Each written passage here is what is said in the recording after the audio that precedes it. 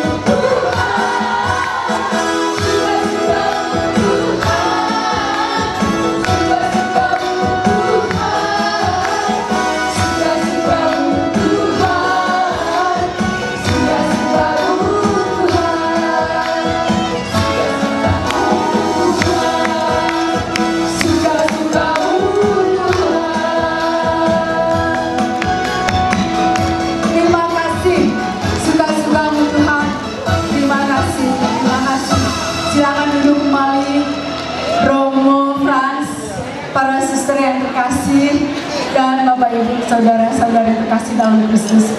Luar biasa, luar biasa, luar biasanya Romo Frans mau tertawa dan mau menari. Makasih ya Romo, jarang-jarang Romo Frans. Selanjutnya kami berikan kepada Romo Eko. Sesi. Bapak Ibu masih banyak yang ke toilet silahkan saja. Apalagi perempuan. Free laki-laki cuma se- secepat sekali. Sercar selesai.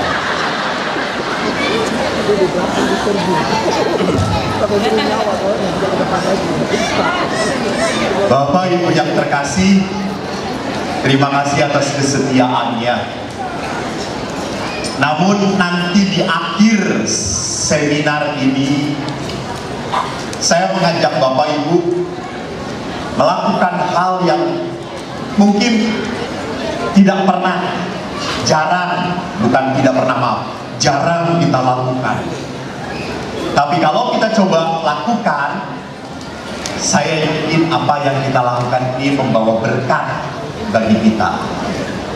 Maka sebelum saya masuk ke sesi kedua saya teringat bahwa dalam kehidupan Allah itu mempunyai rancangan yang indah bagi kita. Kita tidak tahu mau ke mana Tuhan ini membawa. Mungkin pada saat kita penderita, kita sakit, kita selalu menangis. Tuhan, kenapa kok saya harus menghadapi hal yang menyakitkan dalam hidup saya? Ini kok nggak bisa tidak ya?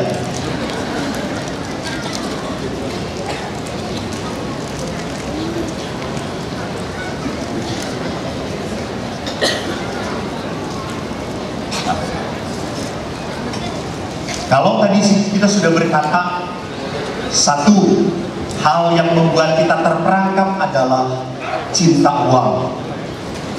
Kedua, kemarahan, jengkel, sakit hati yang kita simpan. Sekarang banyak orang sakit badannya karena sakit hatinya. Ada pengalaman-pengalaman pahit yang tidak dibereskan, tidak diolah. Disimpan terus.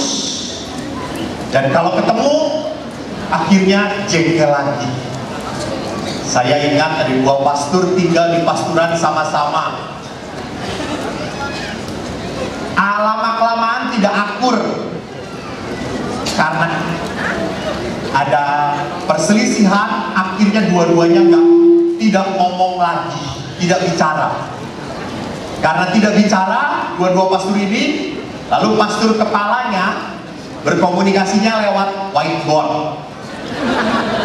Dia tulis di whiteboard, besok kamu misa pagi. Lalu pastor temannya, dia datang, dia baca, besok misa pagi. Terus dia tulis, nggak bisa. Pergi dia. Pastor paroki mendengar pintunya ditutup, dia keluar. Nggak bisa. Lalu dia tulis lagi, lalu siapa yang misa? Dia pergi lagi. Di pastor yang temannya yang dengar begitu udah masuk kamar dia lihat lalu siapa yang bisa? Dia jawab nggak tahu. Besoknya pastor paroki ini merasa karena oh temannya nggak bisa. Akhirnya terpaksa dia pagi-pagi bisa lima menit sebelum bisa dia sudah duduk rupanya sebelum lima menit pastor yang tadi juga kan merasa tidak enak. Datanglah mau mimpin bisa ketemu di sakristi katanya nggak bisa. Kata kamu terserah. Lihat saudara-saudara. Bayangkan kalau suami istri sudah tidak bisa berbicara satu sama lain. Di rumah dikasih whiteboard. Lalu suami berkata nanti malam pakai daster merah. Istri gak mau kalah. Kamu pakai kolor hijau. Lalu suami kan bingung. Dia tanya mau ngapain? Istri datang tulis kita ngerampok bang aja begitu menyedihkan kalau orang punya marah dendam tidak pernah dibereskan akhirnya tidak bisa berkomunikasi padahal manusia itu hanya bisa mengungkapkan keinginan dan harapan lewat komunikasi dan yang kedua, ketiga, kita punya kecemasan, betul, kita punya ketakutan, betul. Tapi jangan pernah lupa, berkat Allah lebih besar daripada ketakutan kita. Amin. Maka ada sebuah lagu yang indah menggambarkan betapa baiknya Tuhan. Yang bisa bernyanyi, kita nyanyi sama-sama.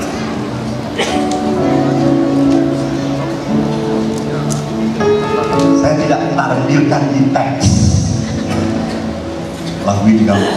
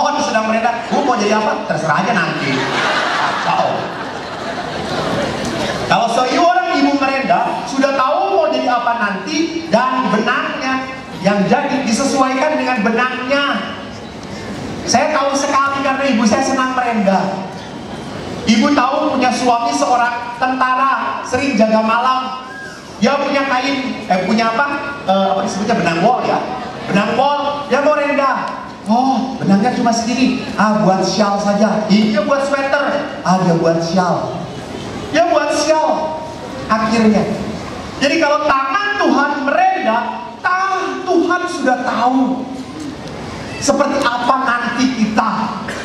Dan Tuhan itu di dalam kitab Nabi Yeremia dikatakan punya rancangan yang indah, damai, sejahtera untuk Anda, untuk saya, untuk kita semua. Saya sangat bersyukur pada Tuhan. Ingat sekali, waktu kecil ada seorang anak hobinya main layang-layangan. Anak ini tumbuh di tanah Sunda. Kalau pakai baju kancingnya cuma satu, di atas yang dikancing.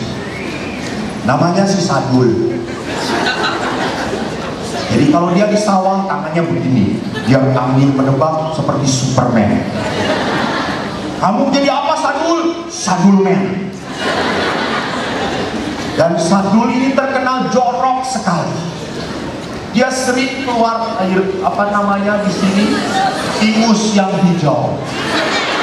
Dua mengalir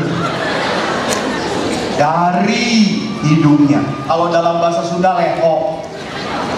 Lalu teman-temannya ngomong Sadul itu cici, ingusnya buah. Tapi Sadul terlalu sayang dengan ingusnya.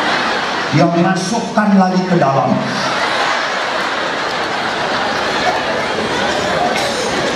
Lama-lama ingusnya tambah hijau, tambah banyak. Lalu Sadul tidak mau membuang, dia lap ke sini. Dan akhirnya ingusnya berleleran ke pipinya. Dia lari-lari dan matahari terik, akhirnya ingusnya kering. Angin menerpa, meletek satu-satu. Semua perempuan jijik dengan Sadul tidak mau mendekati Sadul. Sadul jijik, Sadul bau. Pasti Sadul kalau sudah besar tidak punya pacar. Sadul tetap kenal. Karena Sadul beriman pada Tuhan. Dan Anda tahu Sadul itu hari ini berada di depan Anda.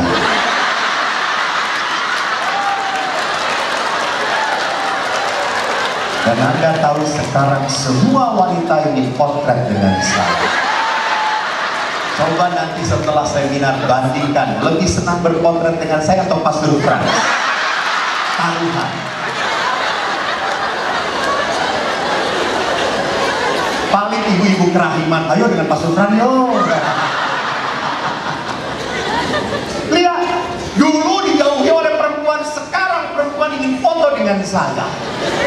Betapa Tuhan itu punya rancangan yang indah untuk si Sadul, apalagi untuk Anda. Maka Bapak Ibu, jangan terlalu cemas, jangan terlalu takut dengan kehidupan. Percayalah, Tuhan kita baik. Percayalah Tuhan memberikan berkat yang indah. Bapak Ibu kalau kenal dengan Uskup Bandung itu satu angkatan dengan saya, Pak Monsinyur Antonius Subianto Benyamin. Beberapa kenal. Beliau uskup pinter.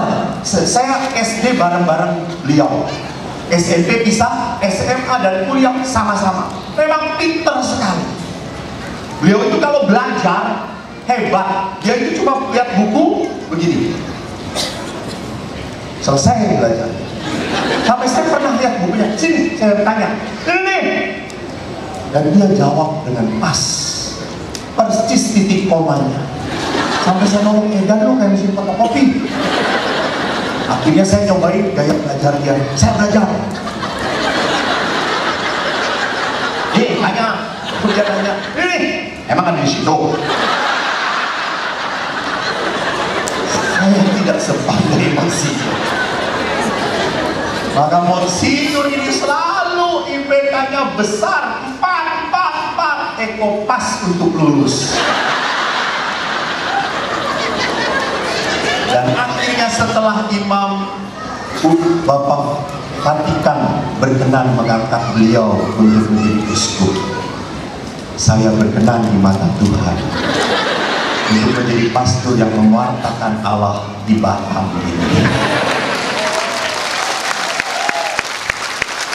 Saya dulu kecil iri dengan Monsinyur karena Monsinyur pinter sekali. Sekarang saya tidak perlu iri. Saya tanya Monsinyur, Monsinyur pernah ke Israel? Belum kok.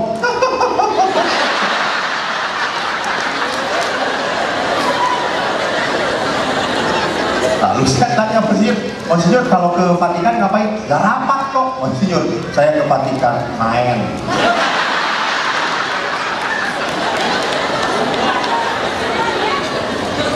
Bapak Ibu lihat. Tuhan itu memberkati kita berbeda Jelas? Jangan minta sama Bayangkan kalau Tuhan memberkati kita sama repot Satu ingin kencing, semua kencing penuh itu.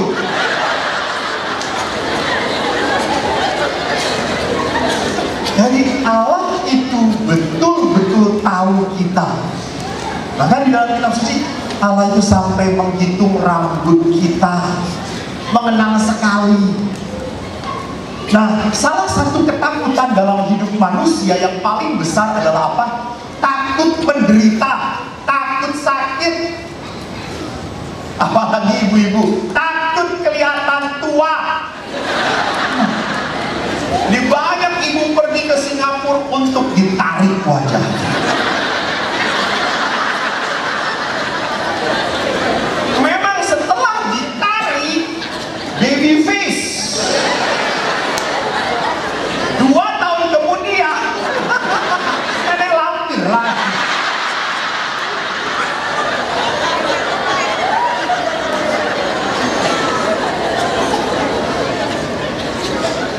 Gua ajak ibu-ibu tato alis, ditato.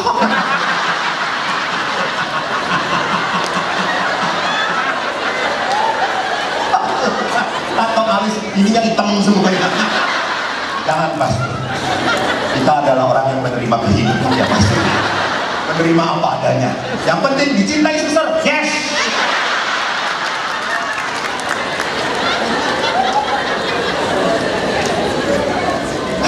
saya suka sedih ibu-ibu kan suka foto dengan saya foto gitu ya. Setelah dipoto langsung ulangi ulangi mas. Kenapa? Saya kelihatan gitu. Emang gendut bu.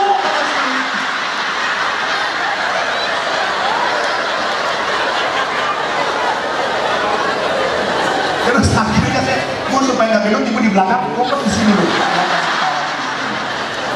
Nggak kelihatan gemuknya kata saya. Tidak terima diri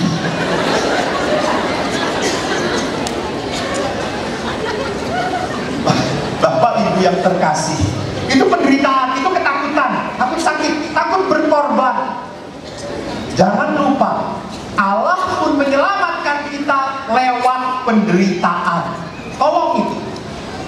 Jadi kalau Allah menyelamatkan kita lewat penderitaan, penderitaan harus menjadi bagian hidup kita. Harus, harus. Semua punya penderitaan masing-masing. Punya. Jangan pikir kalau ada suami istri yang wah selalu ke gereja berdua, anak-anaknya ikut di belakang. Wah itu keluarga yang sakinah, mawadah, dan warohmah. Belum tentu. Bisa terjadi bapaknya baik, ibunya baik, anak-anaknya ngawur. Ah, mungkin juga anak-anaknya ngawur, istrinya baik, bapaknya error. Saya tidak berani mama, mama saya komentari. Pulang habis saya. Jadi di dalam kehidupan selalu ada setiap rumah tangga punya penderitaan. Dan mari kita lihat bahwa penderitaan itu adalah bagian hidup kita yang tidak bisa kita hindari. Harus kita terima, harus kita panggil. Kita bisa memanggilnya kalau kita tahu tujuannya. Apa tujuan penderitaan di dalam kehidupan kita? Pertama, penderitaan itu sakit terjadi supaya kita bertobat. Karena sakit, menderita, berarti ada sesuatu yang salah. Contoh, Anda sakit batuk, oh, oh, oh, oh, oh, terus batuk, dan Anda tetap nekat merokok. Ingat ya, jadi saya selalu dikatakan, Yesus itu mengatakan kepada orang berdosa, orang tahu melakukan itu disebutnya tolong. Kalau orang tidak tahu melakukan itu tidak apa-apa. Tapi kalau orang tahu dan melakukan itu adalah tolong. Jadi orang kalau tahu merokok itu tidak sehat dan tetap merokok artinya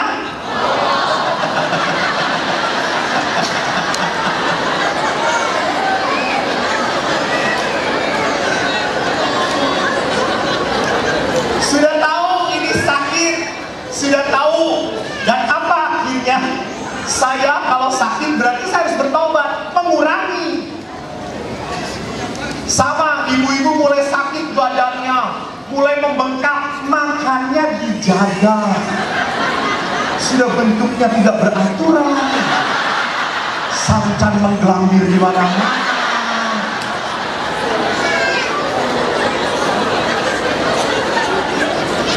Jadi tolong itu untuk pertobatan. Jangan nggak apa-apa kok pastor, gendut-gendut juga dicintai Tuhan. Ah, gendut-gendut dicintai Tuhan.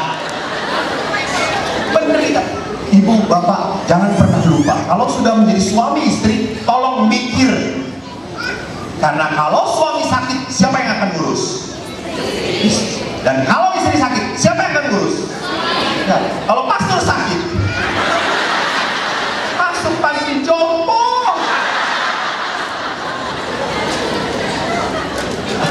Ada seorang suami begitu sayang pada istrinya. Istrinya itu hobinya ngemil, makan terus sampai gendut sekali. Lalu suaminya lapor Romo, saya tuh kasihan dengan istri saya. Kenapa? Dia kegendutan, takut saya banyak penyakit. Tolong dong Romo supaya istri saya bertobat. Ya udah Pak, saya temukan dengan istri Bapak. Saya ketemu dengan istrinya. Ampun, segede pintu. Sampai saya ngomong, Ibu, kenapa Bukai ya Romo. Seksi ya Romo. Betul bu seksi bu. Kalau ibu di Batak, saya ngeliat di Singapura baru saya. Kata saya tuh, ibu, ibu tuh olahraga enggak? Olahraga Romo. Apa olahraganya? Ini. Kalau ini capek, ganti. Kalau dua-duanya segar, dua-duanya. Aduh bu. Ibu itu harus jaga diri, suami ibu tuh sangat mencintai. Ya gimana pastor, saya tuh udah kebiasaan dari kecil ngemil, ngemil, ngemil terus. Saya ingin berhenti, tapi selalu ada yang mau dimakan. Gitu ya. Salah yang membelinya, siapa? Ya saya. Gitu ya. Udah bu, ibu ini kan jangan lupa, ibu sejak kecil mengikuti Yesus toh. Ih pastor, saya dibaptis sejak kecil pastor. Saya pengikut Nah, kalau pengikut Yesus, maka kita akan selalu mengikuti Yesus. Ibu tahu bagaimana Yesus naik ke surga? Yesus diangkat pastor ke surga. Nah, nanti kita juga diangkat ke surga. Pas ibu diangkat oleh malaikat, lalu di tengah-tengah malaikat berkata, Ibra, dilepas.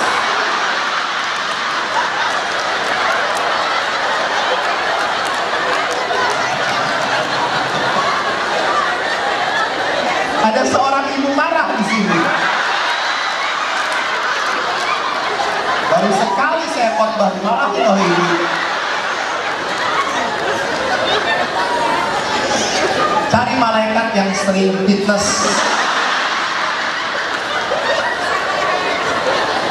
Kebablasan, ini surganya kebablasan.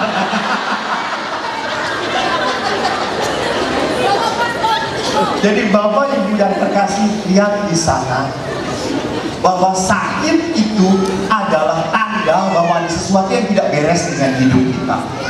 Maka sama, kalau kita juga merasakan beban kehidupan, jengkel, ada sesuatu yang tidak membuat nyaman, berarti there is something wrong with your heart. Ada sesuatu yang gak beres dengan hati kita.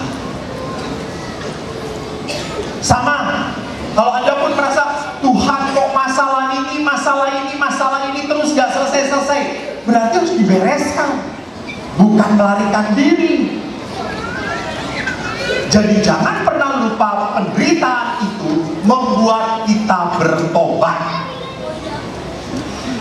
Saya tahun 2010 saya sekolah di Filipina, pastor. Dan saya sekolah di family ministry, saya sekolah konseling keluarga.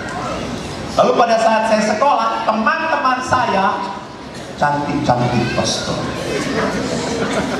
Dan orang Filipina itu kalau ketemu pastor, tahu father, mereka itu, Hai father, memeluk mereka. Dan memeluknya orang Filipina beda dengan orang Indonesia. Kalau orang Indonesia hanya apa namanya cubitan sedikit hasal gitu. Kalau orang Filipina punya erat padat mencengkeram.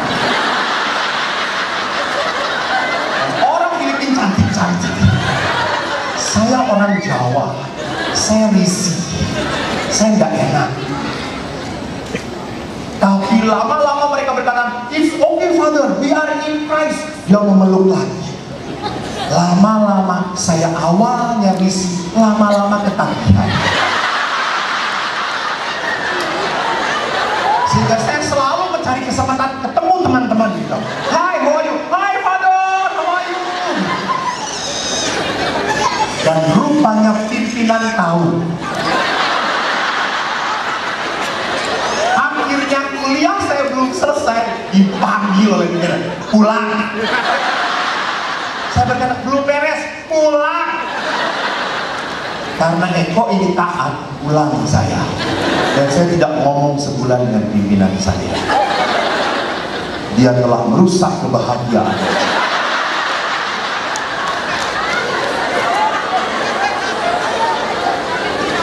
Dan Anda tahu, banyak sekali pastor akhirnya di Filipina keluar yang tidak tahan. Dan saya bersyukur rumahnya dipindahkan kembali ke Indonesia supaya si saya tidak terjerumus dalam dosa di dalam kenikmatan.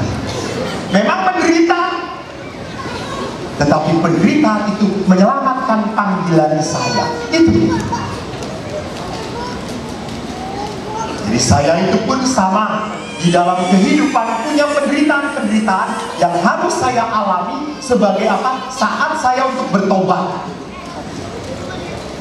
Maka kedua, penderitaan tidak hanya merupakan kesempatan untuk bertobat, tetapi penderitaan itu menjadi undangan untuk mengambil bagian dalam karya keselamatan Tuhan. Suatu hari saya diajak untuk bisa lingkungan. Saat saya bisa lingkungan, umat nyambut saya. Halo Romo, selamat datang Romo, terima kasih. Semua tersenyum. Ada seorang ibu pakai topi, tidak tersenyum sedikit. Yang salam dengan saya, Romo. Halo ibu, ya. Sudah biarin, saya salam dengan yang lain. Sudah, jangan dihiraukan dari dua dari 30 yang nanti cuma satu. Kerikilnya saya bisa. Eh bisa. Ibu itu duduk persis di depan. Kayak Romo Frans begitu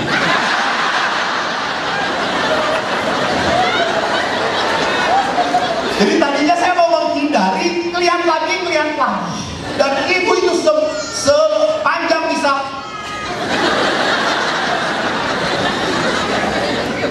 Padahal saya bisa Tuhan bersama dan bersama roh dan sarang.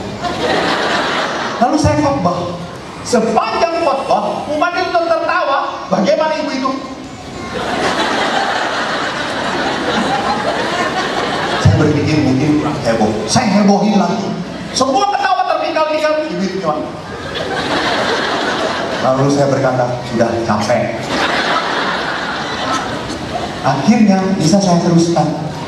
Pas persembahan, tiba-tiba saya kan biasanya persembahan kami para imam mengangkat posti terlebih dahulu. Pada saat saya mengangkat posti, muncullah dalam hati saya doa yang tidak saya kontrol. Tiba-tiba ada kata-kata dalam hati saya, Tuhan sentuh hati ini, sentuh, sembuhkan. Saya tiba-tiba ngomong begitu dalam hati. Lalu saya teruskan pada saat saya konsekrasi, inilah tubuhku yang dikurbankan bagi saya angkat, saya ibu itu menangis tersedus Lalu saya turunkan, saya angkat piala, ibu itu menangis juga. Lalu selesai misa, saya ganti jubah, ibu itu mendatangi saya. Setelah disentuh oleh Tuhan, wajah ibu tidak ada bedanya.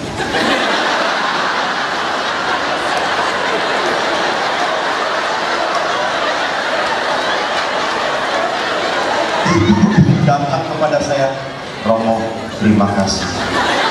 Lalu saya jawab, iya ibu. Dan ibu berkata, boleh saya bicara? Silahkan. Romo itu selalu penuh sukacita. Di depan. Duduk bu. Lalu akhirnya ibu ngomong, Pastor, terima kasih. Kenapa bu? tadi pastor mungkin melihat atau mungkin tidak waktu konsekrasi tiba-tiba saya menangis pastor kenapa bu pastor sudah satu tahun ini saya marah pada Tuhan.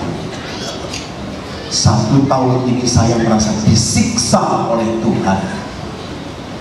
Saya tiba-tiba kena kanker payudara pastor dan payudara yang sakit ini sudah diangkat saya di kemo gundul saya pastor setelah habis di kemo setelah diangkat kanker sudah menyebar ke sebelah kanan saya pastor saya ngomong pada Tuhan Tuhan apa salah saya? Apa dosa saya? Saya sering bisa saya sering pelayanan. Kenapa kau beginikan saya? Tapi pastor waktu pastor tadi mengangkat inilah tubuhku yang dikurbankan bagi saya langsung merasa Tuhan meminta saya untuk bersama-sama berkorban dan waktu itu saya berkata baik Tuhan saya terima berita. Saya terima. Pastor terima kasih. Saya sekarang sudah menerima kanker saya.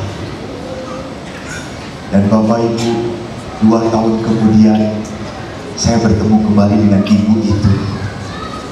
Saya dari jarak jauh sudah kagum rambutnya sudah mulai tebal dan wajahnya agak berubah sedikit. Ada senyum setengah senti. Ibu bagaimana? Ya pastor terima kasih. Bagaimana bu? Kankernya? Masih ada. Terus gimana? Tapi ini teman saya pastor tidak apa-apa saya terima kalau Tuhan mau ini adalah bagian hidup saya. Ini cara saya melayani Tuhan dengan menderita seperti ini. Lihat. Dan sampai kemarin saya ketemu ibu ini penuh kedamaian. Jadi perhatikan apa yang saya mau katakan bahwa penderitaan itu bisa jadi adalah bagian dari ikut sertanya saya dalam penderitaan Tuhan. Maka yang ketiga, penderitaan pun bisa terjadi pada kita untuk melembutkan hati kita supaya kita itu menjadi orang yang toleran, pernah merasakan penderitaan orang lain. Jadi kalau saya pernah menderita, melihat penderitaan orang lain, saya pun menjadi kasihan, ikut ambil bagian. Saya pernah sekali tidak punya apa-apa, ya. Saya pernah sedih sekali waktu teman-teman SD saya kelas 3 semua ke kebun raya Bogor, rekreasi. Eko tidak. Saya ingat bayarnya cuma 1.500 dan waktu tanya bapak pak mau rekreasi pak? 1.500 pak. Dan ada duit. Dan saya tidak berangkat. Sedih sekali sampai akhirnya teman-teman pulang semua cerita Eko diam dan akhirnya setelah saya jadi pastor, saya datang ke kebun raya Bogor, saya kencingin kebun raya Bogor.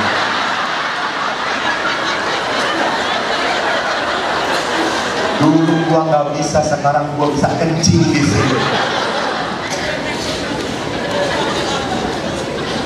Jadi bapak ibu yang terkasih, akhirnya saya pun menjadi orang apa? Tidak tega melihat orang lain. Jadi kalau orang melihat ada orang lain gitu, saya punya berkat, kenapa nggak ngasih? Eh, ambil, ambil, ambil, ambil. Saya kalau ke WC bandara, ada orang yang jaga, mereka tidak mengharapkan apa pun. Saya mencoba, ah saya punya ini sepuluh ribu, ini nih ambil. Terima kasih ya Pak, ya ya ya ya. ya. Saya ketarik lima puluh ribu, ah ambil ambil nggak apa-apa. Saya merasa tidak akan pernah miskin dengan membuat dia bahagia. Saya pernah tidak punya apa-apa. Jadi penderitaan itu membuat kita menjadi toleran, menjadi mau berbagi dengan orang yang menderita. Dan penderitaan itu jangan kita lihat sebagai sesuatu yang menyakitkan melulu. Nah, karena setiap penderitaan itu unik. Apa uniknya? Satu, penderitaan itu tidak bisa digantikan oleh siapa pun. Ya. Jadi penderitaan itu memang cara Allah membentuk kita. Cara Allah membentuk kita lewat penderitaan. Walaupun kita ingin udah saya saja kalau bisa yang menderita jangan kamu. Jangan harus dia. Karena penderitaan itu memang untuk dia. Dan kedua, keunikan penderitaan adalah apa? Tergantung penderitaan itu menderita banget atau tidak tergantung kepasrahan dan ketulusan yang menerimanya. Lihat kanker yang tadi dilihat oleh orang ibu itu awalnya marah jengkel. Lama-lama setelah menerima dia lebih pasrah. Dia lebih enjoy dengan kankernya dengan penderitaannya. Dia mengatakan oke okay, saya terima jadi penderitaan yang sama diterima oleh dua orang yang berbeda. Apakah mengakibatkan hal yang sama atau tidak? Tidak. Tergantung kepasrahan. Maka sama, ada pastor, pas, ada suami istri yang penuh dengan sukacita dalam hidup perkawinan. Tapi ada suami istri yang saya tanya, Pak, Bagaimana Pak bertahan dengan istri Bapak? Ah, Pastor, sebenarnya sudah tidak tahan, tapi ditahan-tahan. Tapi ada suami istri yang memang sungguh sangat menyayangi satu sama lain. Karena apa? Karena merasa bahwa ini adalah pilihan saya. Oleh karena itu, kita melihat bagaimana hilang.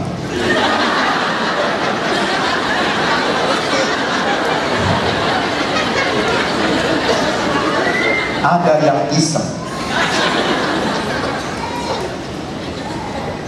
Dadah, dadah, dadah, Saya akhirnya berhenti pada itu. Yesus berkata, marilah kepada kamu semua yang letih lesu berbeban berat aku akan berikan apa? Beban lagi pada kamu. Allah akan memberikan kelegaan, kelegaan. Jadi Tuhan itu bukan memberikan beban, memberikan kelegaan pada kita. Maka kalau Allah memberikan kelegaan, kenapa? Karena Allah adalah. Maka barang siapa tidak berada di dalam kasih, ia tidak berada di dalam Allah. Di dalam Allah hanya ada kasih dan orang hanya bisa mengasihi kalau orang itu mengenal Allah karena Allah itu kasih tadi dikatakan di situ. Yesus berkata, perintah utama dan pertama dalam Taurat adalah kasih Tuhan Allah. Dengan segenap hatimu, dengan segenap jiwamu, dengan segenap akal budi. Bahkan di saat dikatakan oleh penginjil Yohanes, semua orang akan tahu bahwa kamu adalah muridku kalau kamu saling mengasihi. Ya saling mengasihi dan kasih yang ditawarkan oleh Yesus bukan kasih yang senang terus ketawa terus tidak kasih yang ditawarkan Yesus adalah kasih yang seperti ini saudara-saudara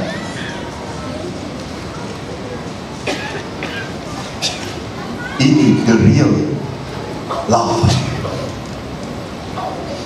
maka Ibu Teresa berkata apa? Orang mencintai harus sampai menangis. Jadi pada saat dia mencintai dan dia sampai menangis dalam mencintai, itu kelihatan aslinya cinta. Maka dalam perkawinan bagus. Saya apa perkawinan inji janji perkawinan masih kan?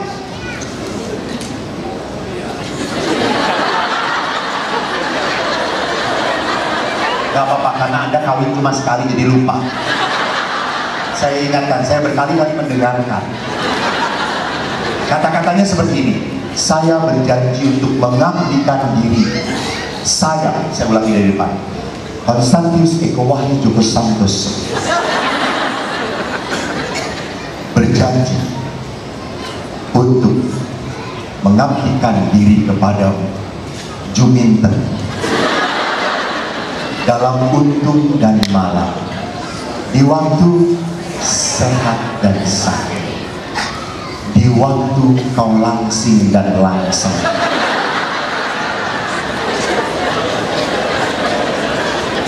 jadi janji perkawinan pun menunjukkan bahwa kalau suami atau istri berubah karakternya cinta saya tidak akan berubah pada dia.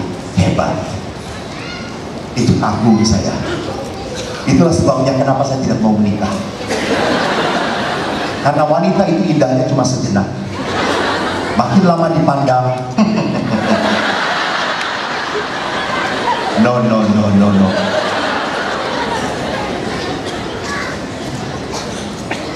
Saya pernah memberkati perkawinan lalu su suaminya saya tanya pak gimana ibu? Baik pastor. Apa artinya baik? Ya baik pastor. Waktu pacaran segini waktu setelah pacaran segini pastor. Membesar ya tapi mencintai. Ya saya tetap mencintai. Itu. Jadi cinta tidak akan pernah berubah walaupun kau berubah.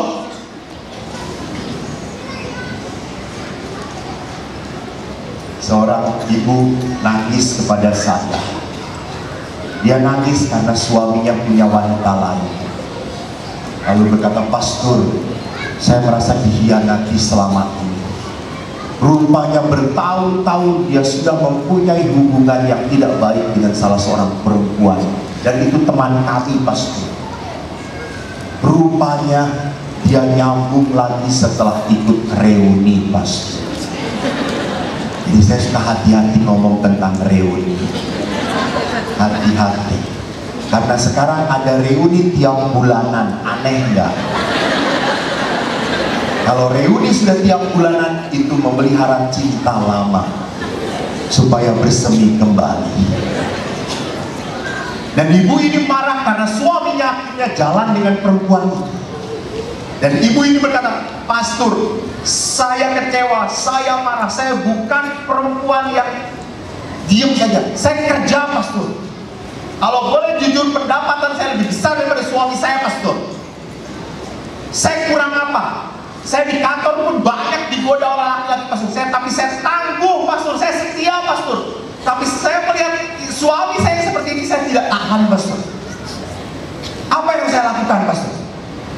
Saya berkata, setialah.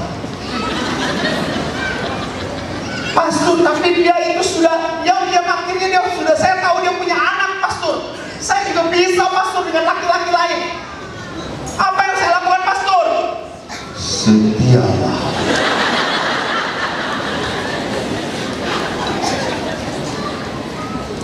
Bapak Ibu yang terkasih, jangan pernah lupa kalau Anda merasa dihianati oleh satu orang, Yesus pernah dihianati oleh 12 orang murid. Kalau Anda merasa sakit, Yesus punya lima luka dalam tubuhnya. Jadi kalau kita mengikuti Kristus, kita harus tahu bahwa kita harus mengasihi walaupun mengasihi itu menyakitkan bagi saya. Maka bagaimana supaya saya bisa berbelas kasih? Saya harus berada di dalam Allah. Orang tidak akan pernah mungkin bisa mengasihi kembali kalau tidak ditolong oleh Tuhan.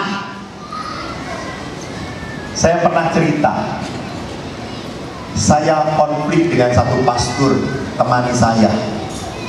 Kakak kelas saya jengkel dengan dia. Karena dia kalau diberi tugas kami di rumah retret itu padat sekali. Kalau dia diberi tugas selalu punya alasan. Aduh saya nggak bisa ada tugas. Lalu akhirnya kamu ya udah jam segini nggak bisa juga ada tugas. Satu dua bulan saya kami bisa terima. Oke oke nggak apa-apa. Lama-lama Eko ini jengkel apalagi Eko anak tentara Akhirnya saya ingin tahu pastor ini ke mana kalau mengatakan saya ada tugas. Dia pergi, saya ikutin dari belakang. Saya pinjam motor karyawan. Saya pakai jaket hitam. Lupa bahwa saya sudah kulitnya hitam. Kenapa lupa pakai jaket hitam? Baru saya tahu bahwa pastor ini tidak tugas malah main badminton. Jadi dia kecanduan main badminton. Saya marah Akhirnya saya pulang, saya datengin pastor kepala. Dia tidak tugas, dia main badminton. Gak bener itu. Apa kata pastor kepala? Eko, dia saudara. Kau harus mengasihi dia. Lalu saya berteriak, Amin.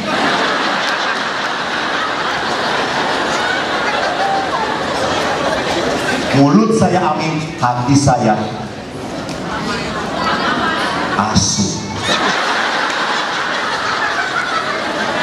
saya jengkel saya nggak terima. Dan bapak ibu apa yang terjadi? Orang yang menjengkelkan itu selalu merasa bahwa tidak punya masalah. Jadi setiap pagi kalau ketemu dia selalu berkata halo Eko. Apa sih saya tidak mau menyapa dia dia tenang menyapa bahkan di meja makan dia di pinggir saya. Maka pada saat di meja makan saya putar. Saya nggak pernah mau ngobrol dengan dia. Saya biarkan. Dan setiap saat kalau di ruang makan ada dia saya menghindar. Di ruang rekreasi dia nonton saya ikut dengan anak-anak retret. Saya mencoba tidak ketemu dia. Karena makin jengkel makin marah. Tapi malam hari kita tidak bisa menghindar karena kami malam berdoa bersama. Dan berdoa bersama itu melingkar. Dia ada di depan saya. Jadi setiap doa jengkel, apalagi doanya ditutup dengan doa Bapak kami. Di dalam kata-kata, Bapak kami ada kata-kata yang tidak saya suka. Ampunilah kesalahan kami seperti saya pun tidak mau mengampuni dia.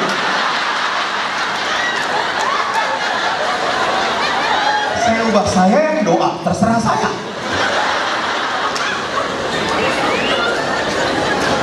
Saudaraku kejengkelan tidak akan pernah hilang kalau kita tidak bereskan lalu saya berkata aduh kalau begini terus saya bisa gak tahan hidup ini biarlah lalu saya mengatakan oh lupa saya. Saya selalu menasihati umat kalau ada masalah. Doa doa doa. Akhirnya saya bisa novena permohonannya satu. Tuhan, ubah, ubah teman saya itu. Kalau perlu pindah,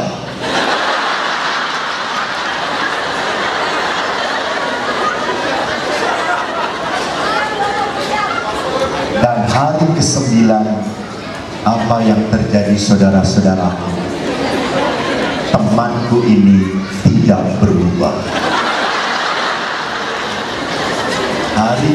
ke-9 tiba-tiba dia seperti biasa menyapa saya halo Eko tiba-tiba Eko halo. Kenapa saya menjawab. Lalu saya duduk. Bangku saya saya geser. Saya tanya eh gimana badminton kemarin? Kurang Eko tuh kok buat tanya-tanya badminton? Badminton ya pas mau buat kopi saya tuh hobinya buat kopi hitam. Lalu saya buat kopi saya tahu dia sukanya teriluan saya lihat dia belum buat kopi lalu saya baca Romo belum buat kopi ya? Belum kok. Saya buatkan. Makasih ya kok. Ya. Romo Fran saya tanya.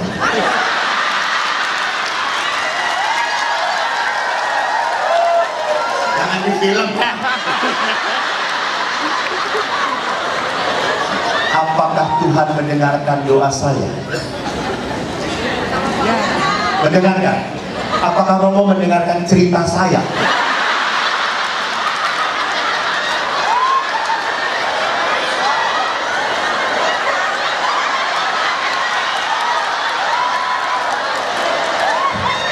Pasturnya aja kayak gini apalagi umatnya. Sampai saya cerita panjang panjang Gak ngerti. Romo Fran, doa saya kan Tuhan, ubah, ubah, ubah, kalau perlu pindah. Mendengarkan doa saya? Tetap ngotot. Ya sudah, terima kasih atas jawabannya. Ini kenapa tiba-tiba menyorot kepada saya? Tolong matikan, saya gak kuat disorot. Kelihatan dosa saya.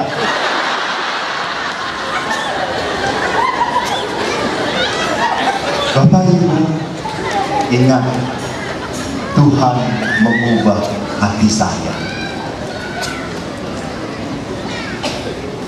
Tuhan tidak pernah mau membuat hidup kita enak, nyaman. Dah, Tuhan lebih senang membentuk saya. Maka jangan pernah lupa Bapak Ibu, kelemahan pasangan adalah cara Tuhan membentuk kesetiaan Anda. Jadi kalau Anda punya suami yang tidak sempurna, memang dia bukan malaikat. Kalau punya istri cewek, wajar namanya juga perempuan.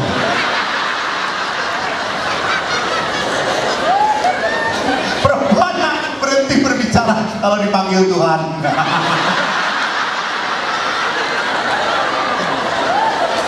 Mungkin pada saat dipanggil Tuhan juga perempuan tetap ngomong, jangan saya, jangan saya, jangan saya.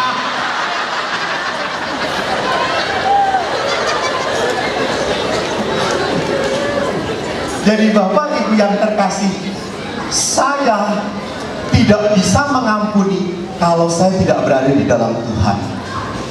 Ini pun terjadi dengan hidup saya waktu saya merenungkan saya tidak punya hubungan yang baik dengan ayah. Betul. Karena waktu setelah jadi pastor, Romo, saya ingin di kamar saya ada foto antara saya dengan dengan ayah. Saya cari di album. Saya lihat adik saya nomor dua sedang dipangku oleh ayah saya, digendong. Baliknya lagi, adik nomor tiga sedang diberi dot oleh ayah saya. Baliknya lagi, adik nomor empat sedang bermain dengan ayah. Terakhir, saya sedang digendong oleh tukang beca.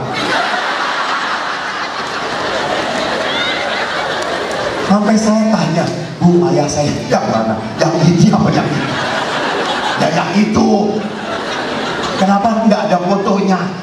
Memang kamu kurang akrab dengan ayah. Maka memang saya kurang punya hubungan batin dengan ayah. Saya pergi ke Yerusalem, ke Roma, saya selalu beli oleh-oleh yang terbagus ibu.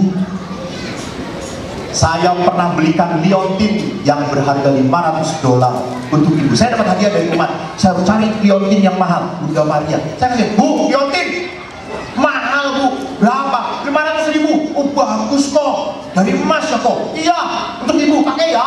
Ya, bapak saya datang. Saya mana? Ini Rosario. Berapa harganya? One dollar gitu.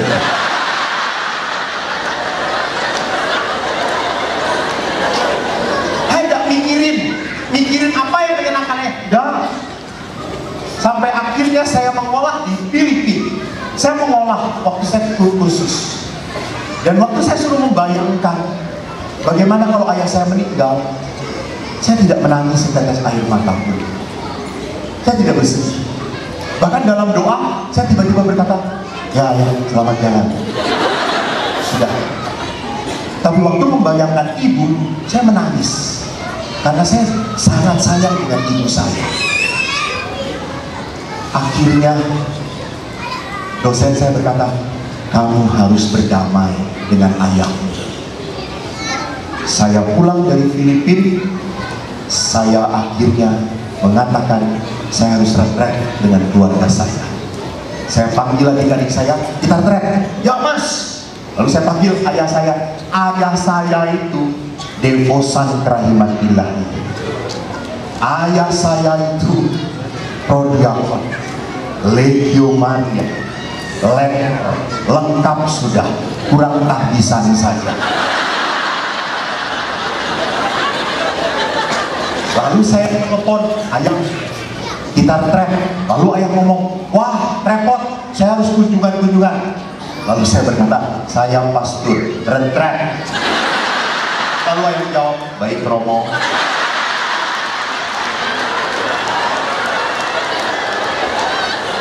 Lalu kami retret sekeluarga, ayah, ibu, adik-adik saya. Pas retret, kita belajar menumpahkan, mengingat kembali kekecewaan, bukan menyalahkan, dah bahwa kita pernah punya sakit, ngomong. Tiba-tiba ayah adik saya perempuan ngomong, ayah, ayah itu memang dari dulu terlalu keras pada kakak. Ayah ingat, dulu kakak pernah dilempar oleh ayah. Saya jadi ingat lagi, saya padahal udah lupa. Saya pernah dilempar oleh ayah pakai sepatu boot tentara dalam jarak satu setengah meter. Dilempar percis kena bibir saya, bibir saya pecah, gigi saya patah, dan saya kabur dari rumah dan tidak dicari ayah. Eh bukan sedih malah ketawa. Ini. Ini kurang belas kasihnya seperti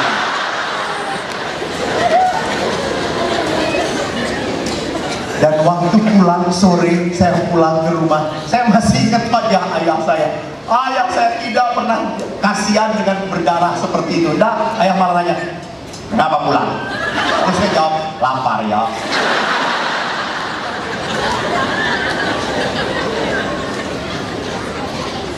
akhirnya saya masih teringat kembali apa peristiwa belakangnya setelah retret saya ingat ayah waktu teriak adus kowe. Dalam bahasa Jawa mandikan dan saya mandi. Dan saya tahu kalau ayah marah itu bersambung. Bab satu bab dua bab jadi saya mandi saya kaget. Di kamar mandi sudah ada air hangat wah lalu sudah ada baju saya tempelin. Ini pasti ayah yang melakukan. Saya mandi tapi saya berpikir setelah mandi pasti dipukulin kata saya. "Wah, Eko kuat? Eko kuat? Eko kuat? Saya mandi setelah mandi saya keluar kamar mandi. Kamar kami dan rumah kami nggak besar langsung ruang makan. Saya duduk ayah sudah begini. Belum. Duduk. Saya duduk diam.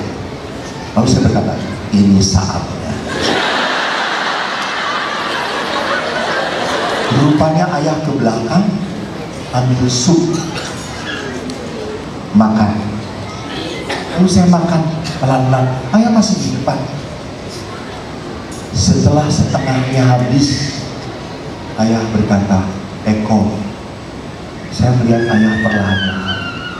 Dan ayah berkata maaf ya ayah memukul kamu terlalu keras kata-kata maaf itu membuat sakit saya hilang dari tubuh saya. Berdamai. Maka pada saat retret itu pun setelah selesai saya datengin ayah. Ayah boleh saya memeluk kamu? Saya rindu punya ayah. Lalu ayah berdiri dan saya memeluk ayah. Begitulah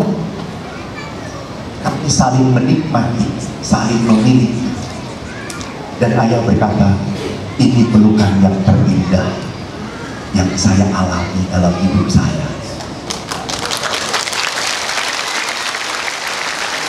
Anda tahu setelah itu ayah sangat dekat sekali dengan saya. Kami sering ngobrol berdua. Bahkan kemarin pun saya pulang ke Bandung, tiba-tiba ayah berkata, aku kok ingin makan makanan Jepang ya. Saya ingat dulu belum pernah diajak ke rumah makan mana pun. Tapi waktu ayah ngomong begitu, saya langsung berkata, yuk kita ke restoran. Lalu ayah berkata, siapa yang bayar? Romo. Romo kok? Nah,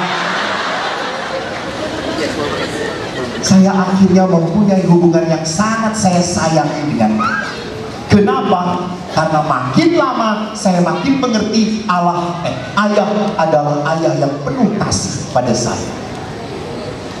Maka suatu saat apa yang terjadi dalam hidup kami sangat merubah hidup saya.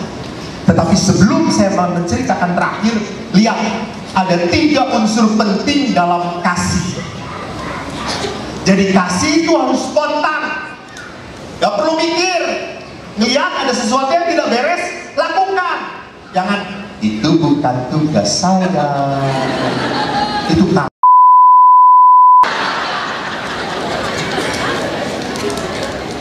Walaupun ini Anda tahu ini tugas istri Anda, tetapi istri Anda sedang sakit, ambil alih, ambil alih.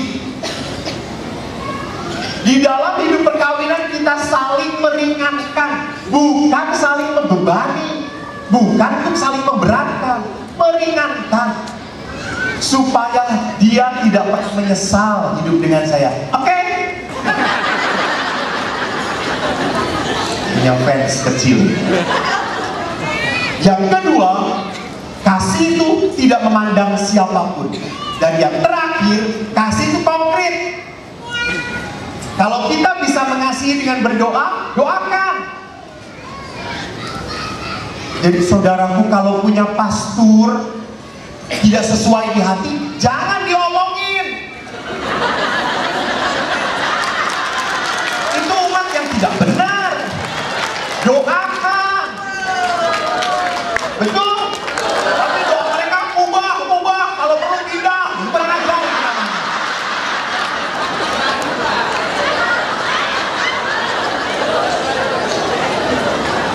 Doakan. Seorang imam hanya bisa bertahan kalau didoakan oleh umat. Jadi imam pun lemah, butuh didoakan. Jadi sama kalau imam pun sama khotbahnya tidak menarik, didoakan. Jangan. "Hmm." Doakan Tuhan jamah dia, jamah dia, jamah dia. Sama, saya juga mengatakan kepada suami istri, Pak, kalau suami istri mulai cerewet, sebelum bapak marah berdoa dulu, salam Maria tiga kali. Setelah doa salam Maria tiga kali, baru anda boleh marah. Supaya apa? Kalau saya bisa memberikan cinta yang konkret dengan doa, doa. Kalau kita bisa memberikan cinta dengan layani, layani. Karena cinta itu adalah pemberian yang spontan, tulus, apa adanya. Maka ini semua menghantar saya pada sebuah kenangan indah waktu ibu saya terakhir. Ibu saya adalah seorang perawat bidan.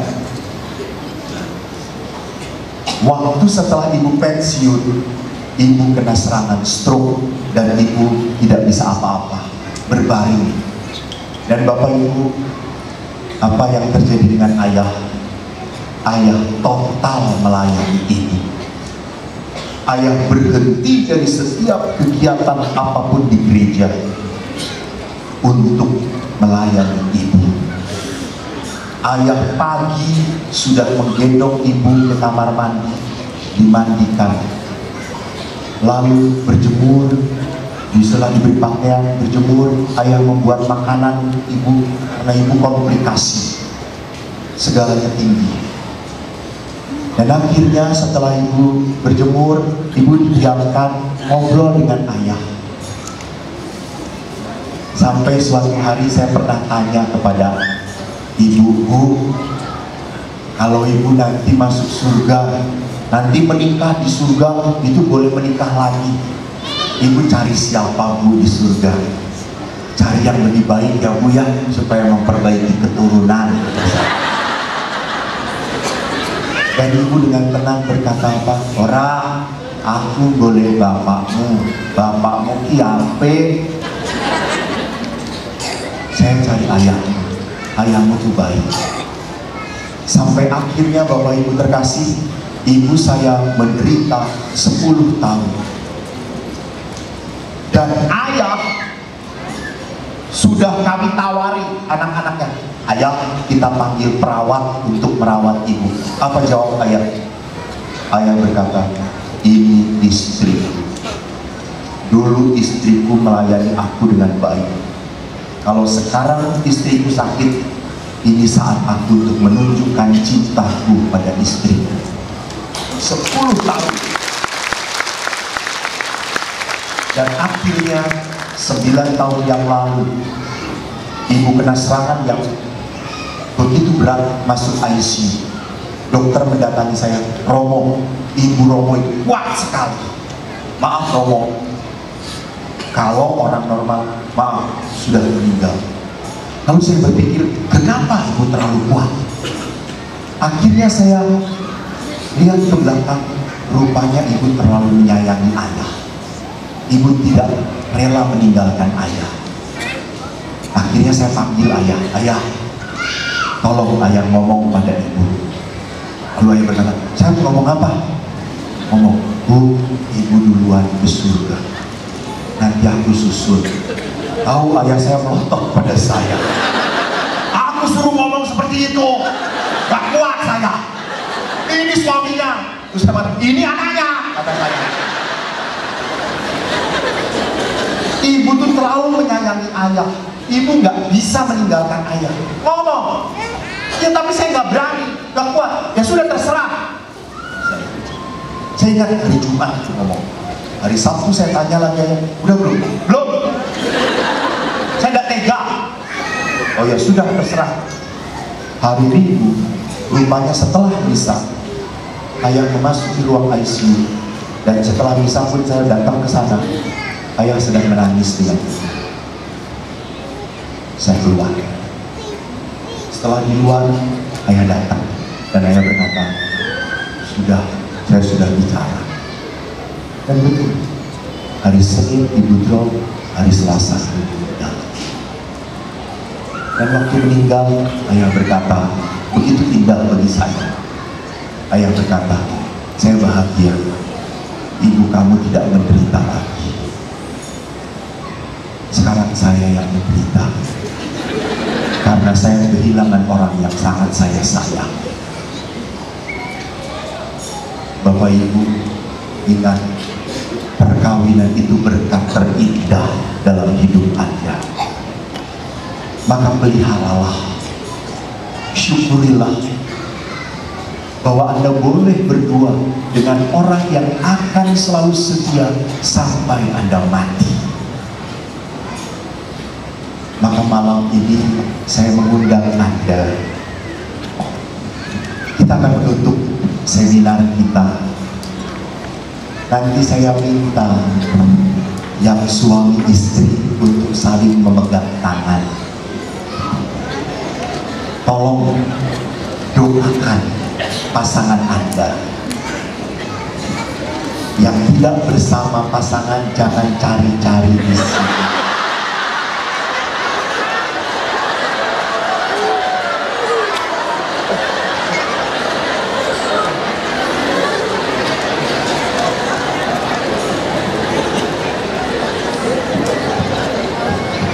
Bocok kecil. Pada saat Anda memegang tangan istri Anda, inilah tangan yang akan selalu mendampingi Anda untuk sampai surga. Berterima kasihlah Tuhan telah menyatukan Anda dengan pasangan Anda. Kalau Anda tidak membawa pasangan, pasangan Anda sedang ada di box atau di mana pun berada, bayangkanlah, bayangkanlah berterima kasihlah. Walaupun dia tidak sesuai dengan apa yang kamu harapkan bersyukurlah. Kau dipersatukan oleh Tuhan. Ingat Tuhan yang menyatukan anda. Dan kalau pasangan anda pun sudah meninggal doakanlah. Mari kita berdiri bersama-sama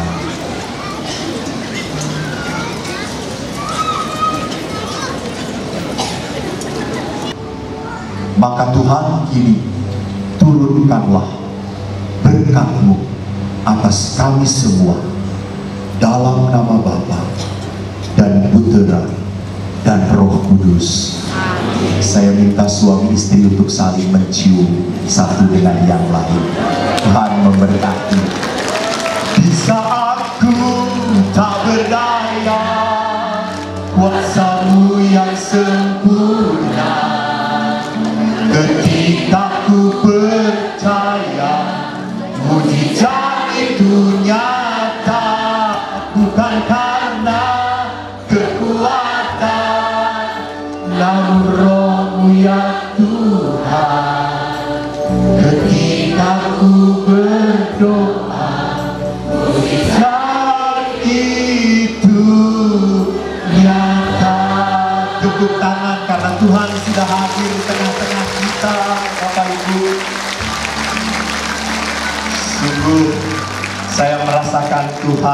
Sungguh memberkati kita. Terima kasih atas kebersamaan. Terima kasih atas sukacita selama seminar ini. Tuhan memberkati Anda semua. Amin. Terima kasih Romo Eko. Naik Garuda, duduk di depan. Motor Harley masih disimpan. Selamat jalan pulang ke Medan. Semoga pastor datang lagi tahun depan.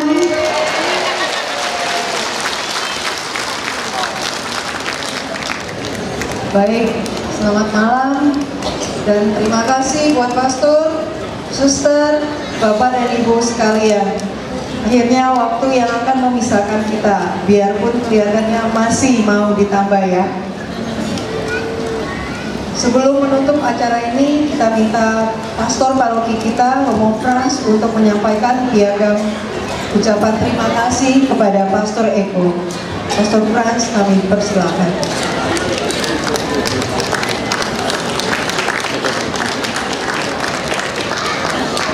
Romo Eko tadi lagi duduk di situ orang langsung kirim SMS WA dari belakang minta saya supaya tahun depan undang Romo Eko lagi.